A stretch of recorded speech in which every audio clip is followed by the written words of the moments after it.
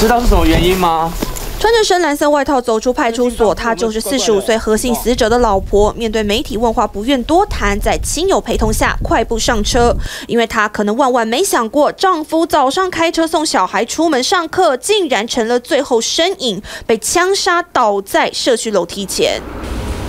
刚买完的早餐来不及吃，饮料就这样子掉落在地面。只是死者一家人平时相当低调，附近邻居对他们也是不太熟识。很少听到，我住那么久了，那个是已经新搬来的啦，那现在不晓得。警方调查，四十五岁的何姓死者和妻子育有两名小孩，老大读国中，最小的女儿读小学，已经在别墅区居住十多年，一家人也和岳父岳母同住同社区。除了是咖啡豆贸易商之外，还和哥哥分别开了一家医疗相关产业的公司，批发西药以及医疗器材等。两家公司地点都相同。大部分都没有人住。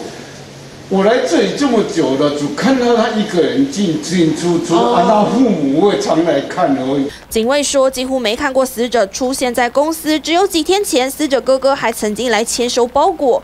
两兄弟疑似承接父亲事业，警方进一步了解，发现他们二零一五年曾经因为进口药物被逮，但最终被以持有二级毒品罪还起诉处分，所有东西被没收。这回死者遭到枪手行刑式枪击，和过往经历。有没有关联？恐怕要警方抽丝剥茧，查个仔细。